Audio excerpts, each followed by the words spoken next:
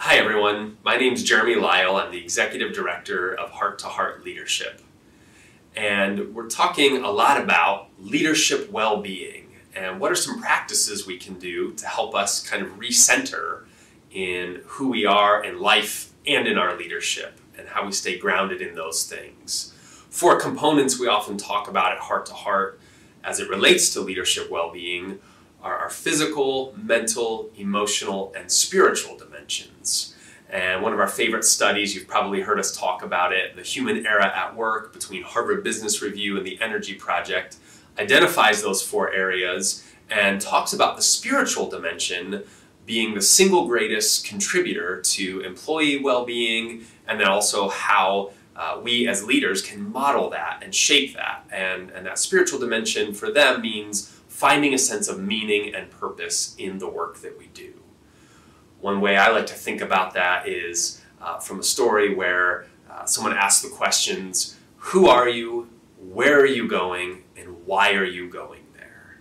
And so as we kind of look at this specific aspect of uh, the spiritual dimension of who we are as leaders, you're going to see an image come up on your screen.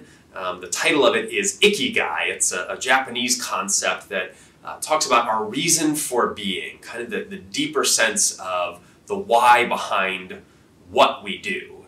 And um, there's different elements of it that it looks at our sense of profession, our sense of passion, our sense of mission, and our sense of vocation. That, that idea of you know something that, that we, we have a sense that we're just you know born to do this thing or called to do this thing.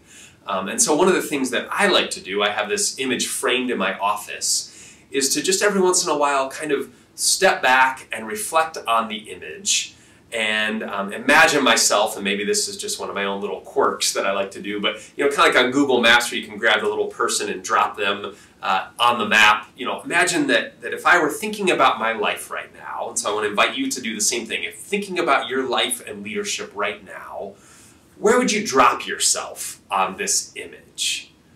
you know, do you have a, a stronger sense of your profession and maybe, you know, putting a lot of energy and effort into that? Or maybe it's your passion, you're in a season of life where you're pursuing that a little bit further, or one of those other dimensions. Um, so just take a moment, I'll, I'll be quiet and let you reflect on where are you right now?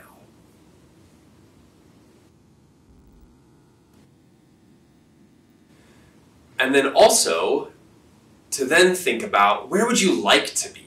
Is there a sense that maybe some things are out of balance? And I always tell people, and, and think about that for myself too, it doesn't have to mean right in the middle. Again, maybe different season of life, you're, you're wanting to focus on something uh, a little bit more prominently. So um, again, imagine dropping a little dot or, or a little, you know, version of yourself onto that image where you would like to be as far as living out that uh, sense of purpose.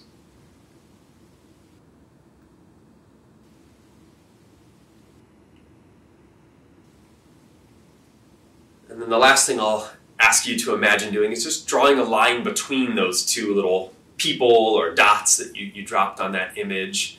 Um, you know, is it a wide gap? Is it a, a short little gap? Um, and then to just take another moment to reflect upon what's keeping you from getting from where you are to where you would like to be. Are there internal things that are kind of hijacking you? Um, maybe even messages that you tell yourself oh, I could never do that, or I'm not good enough, or, you know, whatever those things may be. Or maybe there's external things that are keeping us from getting to where we would like to be as far as living out a greater sense of purpose and leading from that place. What are those things?